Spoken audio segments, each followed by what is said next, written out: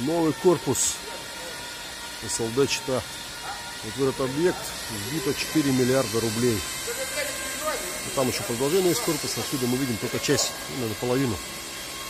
Скоро запуск. Ну, наверное, как подрядчики, через месяц, в мае. Ну нафиг через месяц, через две недели. Смех. Красиво. Все в пыли. Сейчас делаются полы наливные полимерного покрытия. Вот где ребята делают.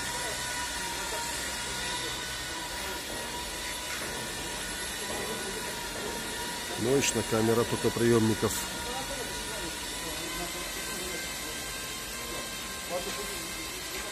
Электровозных. Косяков здесь, конечно, выше крыши. Блин. Сейчас мы прошли, посмотрели. Мозги дымятся. Будем выравнивать положение.